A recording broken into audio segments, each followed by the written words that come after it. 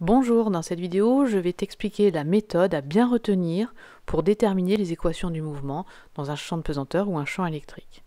Alors tout d'abord, euh, ce que je vais noter en bleu ici, c'est ce que tu dois faire avant de commencer l'exercice, avant de, résoudre, de répondre aux questions, pardon, et eh bien cela te permettra d'avoir des indices, des aides pour répondre aux questions.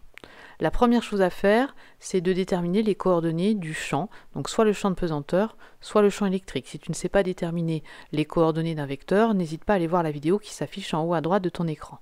Ensuite, tu dois déterminer les conditions initiales.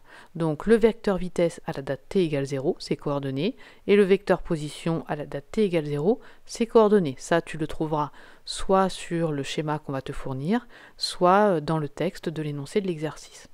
D'ailleurs, tu trouveras euh, dans la description le lien vers cette fiche méthode que tu pourras imprimer. Alors ensuite, en général, on te pose une question, donc euh, appliquer la deuxième loi de Newton pour déterminer les coordonnées de A. Alors la deuxième loi de Newton, je te rappelle, c'est somme vectorielle des forces égale m euh, fois le vecteur accélération. Si tu es dans un champ de pesanteur, tu n'auras qu'une seule force, le poids, P égale mg. En général, les frottements sont négligés, c'est marqué dans le texte de l'énoncé.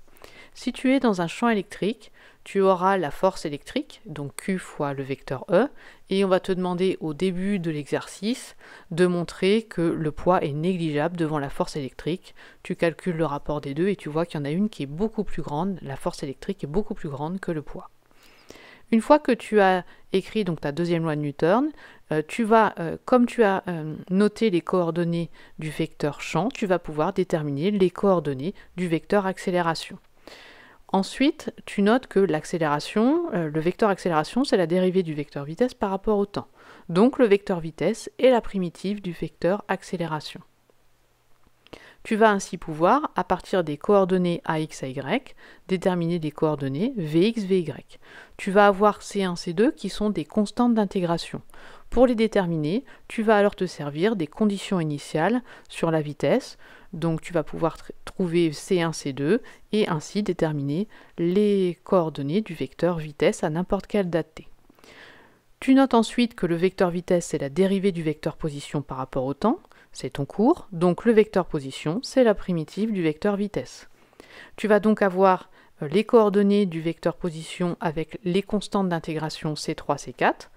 Pour les déterminer, tu notes les conditions initiales du vecteur position à la date t égale 0, et tu vas donc déterminer les coordonnées du vecteur position à n'importe quelle date. Ces coordonnées, c'est ce que l'on appelle les équations horaires du mouvement.